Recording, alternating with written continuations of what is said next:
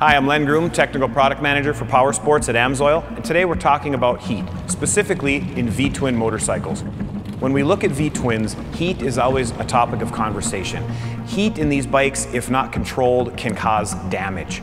Um, pistons, cylinders, always something that people are thinking about when we're talking about heat. If the heat gets too high, you can cause damage to the cylinders, you can scuff the pistons, many, many, many things that can happen to this bike if we don't manage heat. Sometimes the riding situations that we can put the bike into can cause the heat to do different things. Let's say we're in parade traffic or we're in a very slow speed situation where the RPMs are low and the speeds are low. There's not a lot of ability for the bike to cool itself in that situation so heat can start to climb. Let's say we look at the bike itself. A large bagger can have fairings, it can have guards, it can have different covers on it that are going to keep the bike from cooling itself. The outside temperature can have a direct relation to the temperature of that motor. So the environment, the bike itself, the situation that we're putting it in can all have an effect on heat. There are several different ways that you can manage heat, but the first thing you need to do is establish that there is heat. And the best way, and often the cheapest way to do that, is to replace the bike's factory dipstick with one that incorporates a digital readout. You simply unscrew the factory stick, put this one in, and you can actually see the temperature of the oil as you ride the motorcycle. Another way to manage heat would be to add an oil cooler. Some bikes, such as this one, come from the factory with an oil cooler installed. In other situations, you can add one for somewhere around $200.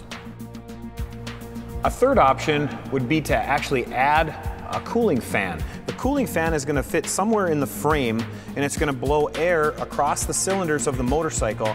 This option getting slightly more aggressive, slightly more expensive. You're looking at 200 plus dollars on this one.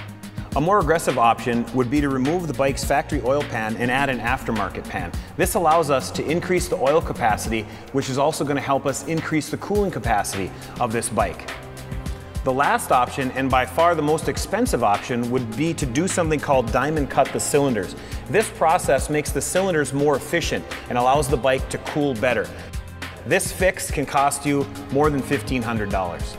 The most important option would be to use a high quality motor oil because motor oil not only lubricates the moving parts and separates all of the different pieces, it provides a cooling aspect.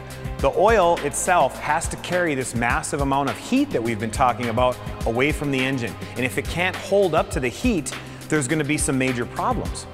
At AMSOIL, we traditionally do a lot of testing. And in this situation, we ran something called an extreme dyno test, where we took a motorcycle oil and we put it in situations where you normally would not put your bike. 300 degree oil temperatures, 500 degree cylinder temperatures.